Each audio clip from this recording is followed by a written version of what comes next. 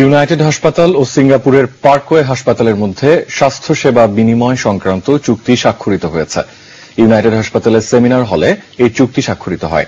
Singapore গ্লেনি girls হসপিটালের ব্যবস্থাপনা পরিচালক কক মুন ফং ও ইউনাইটেড হাসপাতালের ব্যবস্থাপনা পরিচালক ফরিদুর রহমান খান নিজ নিজ পক্ষে এই চুক্তি স্বাক্ষর করেন। এ সময় উপস্থিত ছিলেন বাংলাদেশের সিঙ্গাপুরের রাষ্ট্রদূত ড্যারি লাও, পার্কওয়ে হেলথ বাংলাদেশের পরিচালক জাহিদ খান সহ ইউনাইটেড গ্রুপের পরিচালকবৃন্দ। এবার দেশ বিদেশে খেলাধুলার খবর জানাচ্ছেন ওয়াহিদুজ্জামান।